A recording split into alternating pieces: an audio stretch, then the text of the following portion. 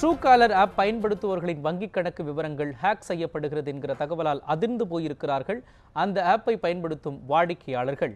Unknown நம்பரில் இருந்து phone வந்தால் அது யார் என்பதை நமக்கு சொல்லும் ஆப்பான ட்ரூ காலர் நமக்கே ஆப்பு வைக்கிறது என்ற குற்றச்சாட்டை முன்வைத்துள்ளனர் சைபர் வல்லுநர்கள்.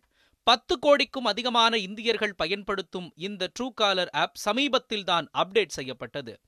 அந்த அப்டேட் செயலியை பயன்படுத்துபவர்களுக்கு யூபிஐ வங்கி பரிமாற்ற சேவையில் அவர்கள் இணைக்கப்பட்டதாக எஸ்எம்எஸ் என்றிருக்கிறது. யூபிஐ வங்கி பரிமாற்ற சேவையில் தங்களை இணைக்க எந்தவிதமான முயற்சிகளையும் எடுக்காதபோது தங்களுக்கே தெரியாமல் இது எப்படி நடந்தது என்று பலரும் குழப்பத்தில் ஆழ்ந்துள்ளனர். ஐசிஐசிஐ வங்கி வாயிலாக இந்த யூபிஐ சேவை பதிவு செய்யப்பட்டிருந்ததால் அந்த வங்கியின் வாடிக்கையாளர் சேவை மையத்தை அணுகி பலரும் தங்கள் வங்கி விவரங்களை முடக்கினர். அது மட்டுமின்றி பலரும் உடனடியாக ட்ரூ காலர் ஆப்பை அன்இன்ஸ்டால் செய்ய தொடங்கினர்.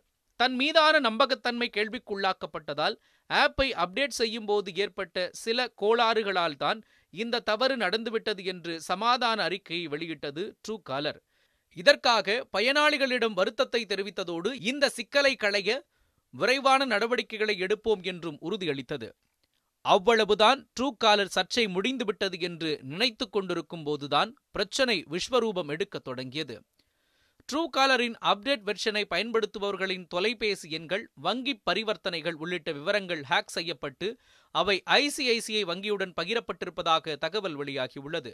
இது மட்டுமின்றி செல்போனில் இருக்கும் ரகசிய விவரங்கள் கூட திருடப்பட்டிருக்கலாம் என்பதும் ட்ரூ காலர் உபயோகிப்பாளர்களின் வயிற்றில் புலியை கரைத்துள்ளது. ஆனால் இது குறித்து ஐசிஐசிஐ வங்கி எந்தவிதமான அறிக்கையையும் வெளியிடவில்லை என்பது இந்த இடத்தில் உற்று நோக்க வேண்டியுள்ளது. தற்பொழுது வங்கிக் கணக்குகளை ஹேக் செய்வதற்கான வாய்ப்புகளை ட்ரூ காலர் எப்படி உருவாக்கியது இந்த விவரங்கள் எப்படி ட்ரூ காலர் ஹேக் செய்யப்பட்டது என்பது போன்ற ஆராய்ச்சியில் ஈடுபட்டு வருகின்றனர் சைபர் வல்லுநர்கள். தினம் தினம் டிஜிட்டல் இந்தியா பிறந்து கொண்டிருக்கும் இந்த தருணத்தில் ட்ரூ காலரின் இந்த செயல்பாடுகள் வெந்த புண்ணில் வேல் பாய்ச்சிக் கொண்டிருக்கிறது.